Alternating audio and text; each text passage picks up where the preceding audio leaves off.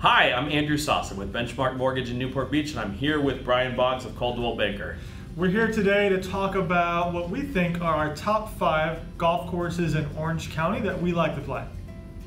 Great. So number five is going to be Mile Square Park in Fountain Valley. Uh, Mile Square has got two courses: the Players Course and the Classic Course. I like the classic course the most. It's fun.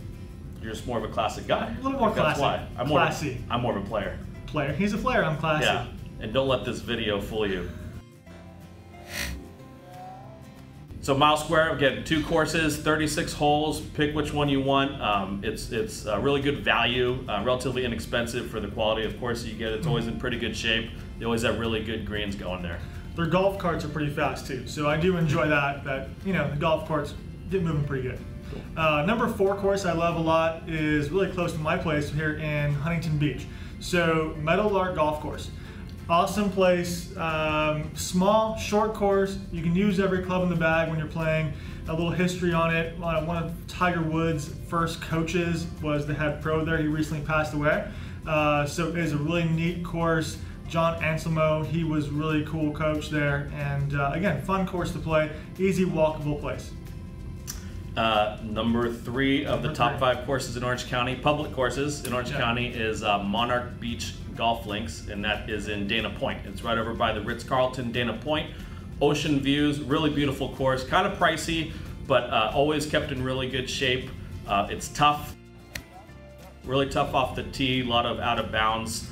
Um, I think I shot 105 the first time I was there. Awesome, good round. 74 the next time I was He there. cheated probably. I cheated. Number two course is Oak Creek. That's in Irvine. This is a Tom Fazio designed course. Really well manicured, gorgeous course. One of the best practice facilities I've ever been on before. So really great setup. Cool clubs is there if you get your club fitting. There's all kind of great instructions and stuff done as well. Uh, but really nice, really nice, well maintained, and well manicured course. Yeah.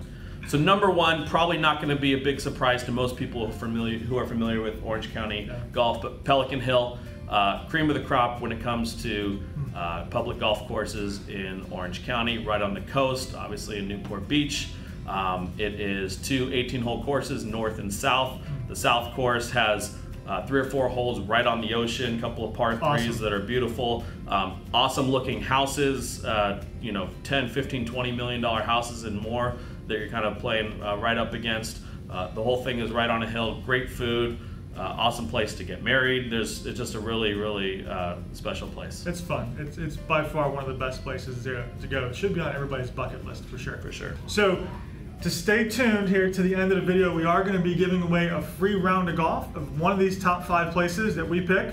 Um, so we'll pick which one. Maybe Pelican Hill, maybe Meadowlark. Not too sure. We'll kind of see. Uh, but for a chance to go to one of these courses, comment below with a story of your favorite course and why.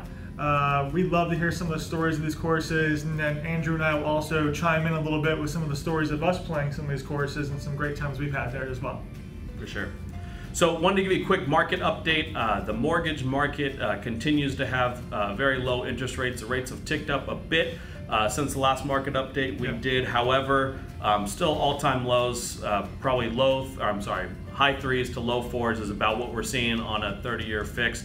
Um, a lot of the uh, changes that are happening over the next year with regard to some of the tax plan uh, coming up that was been proposed will have a big impact on getting a mortgage. So uh, give us a call if you want to discuss your specific situation and how the new tax plan might impact uh, your ability to finance or, or own a home.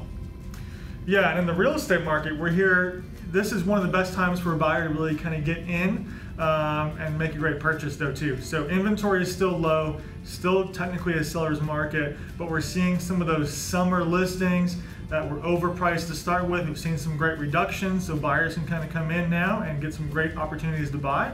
Um, and also, sellers are taking advantage of the market, so it's really kind of a funky market that way, in that there's opportunities for both buyers and sellers uh, depending on what they're looking for, where you want to go, and what you want to you know get out of that sale. Great. So again, this is Andrew Sosa, Benchmark Mortgage, and Brian Boggs with Coldwell Banker in Newport Beach. We appreciate you uh, watching the video. Yep, thanks.